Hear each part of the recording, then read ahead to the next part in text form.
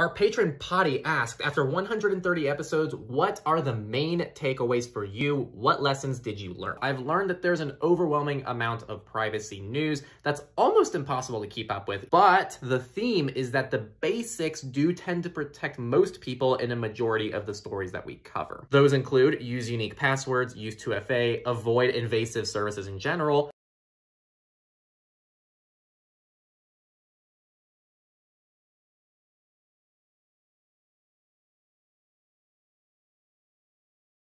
freeze your credits, and please, please keep your software up to date.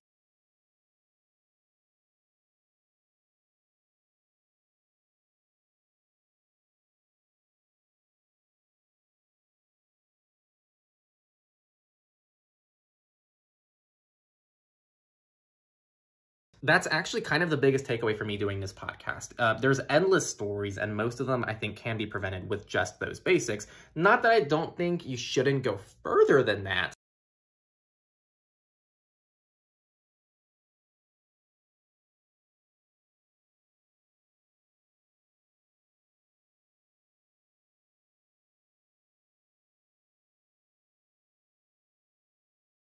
Second, Proton's themes look great, but as someone who switches between light and dark theme automatically, it's silly for Proton to not have a system theme option, especially when their apps have this, opening the discussion on client consistency, which we'll cover later in the video. I think my biggest takeaway has actually been how scary common data breaches are. The data breach section was actually something I insisted we keep when I joined Surveillance Report it was a section I had on my podcast, and I was like, I think this is really important so that people understand how common these are. At the time, my podcast was still pretty new, so even I didn't quite realize how freakishly common they are. Data breaches happen a lot, a lot, a lot.